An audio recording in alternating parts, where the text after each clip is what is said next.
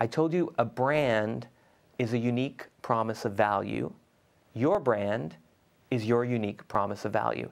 It's unique because it separates you from your peers, all the people who share your job title, right? You're one person who's different from all of those people. It's a promise because it's based in your authenticity and you commit to delivering it with everything you do. And it has value to your target audience.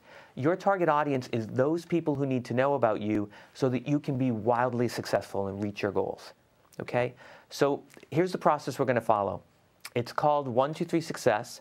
It's made up of three steps, and they are extract, express, and exude. Extract is all about unearthing the brand called you. Express is about communicating it, increasing your visibility so that everyone knows the value you contribute. And exude means managing your brand environment, making sure that everything that surrounds you is sending an on brand message.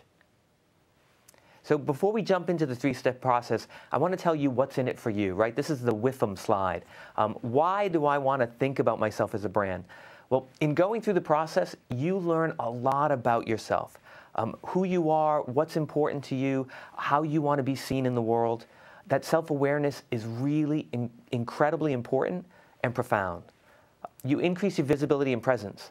I tell everyone after going through the branding process, they're just a couple of inches taller than they were before having gone through. You differentiate yourself from everybody who seemingly does what you do. You put yourself in control of your career, which is critical during these turbulent times. You create demand for your services, increase your wealth, and most importantly, you achieve your goals in a way that is fulfilling. Because when you're working 60, 80 hours a week, you want to love what you do. You want to enjoy what you're doing and feel really accomplished at the end of it. So that's what you get in personal branding. Let's tell you how to unearth your brand.